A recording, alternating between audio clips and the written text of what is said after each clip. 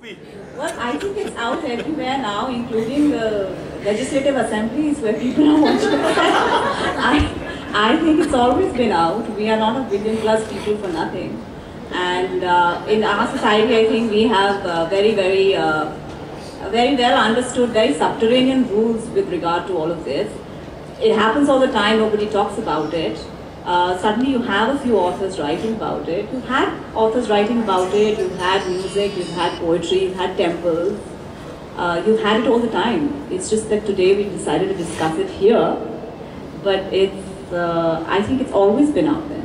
So it's becoming Yeah. like people are also becoming more. It's just the mediums have multiplied. Yeah. But uh, as I said, not, nobody's here out of immaculate conception. Everybody's here because of a certain reason. I like the line. We're not billion plus for nothing. We really know a thing or two about it, a billion thing or two about it. But of course, we become a little more acceptable. What do you think?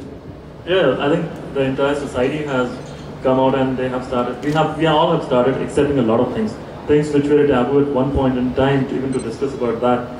We have opened up, and it's just not sex. It's about n number of things that we have accepted. And sex is one part of it.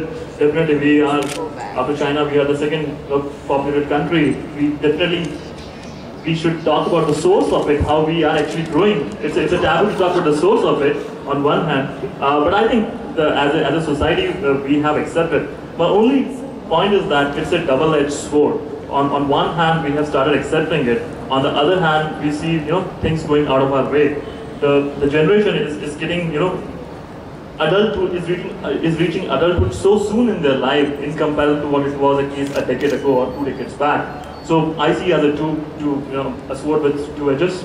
That's okay, maybe but just taking a leaf from him. Uh, it's do you think it's a uh, little let's say dynamic because what he's saying right now, ki abhi zada ho gaya hai, you know, uh, people are like talking about it, but the generation gap. But that generation gap, do you think was always there? Like, even the people who were born in, let's say, 60s, they were say, ki, jo humse pehle hai, they were not really open about it. We are a little, more, little bit more open about it. The people in 70s, they said, like, you know, the people born in 50s were not really cool about it. So, was it always there, do you think?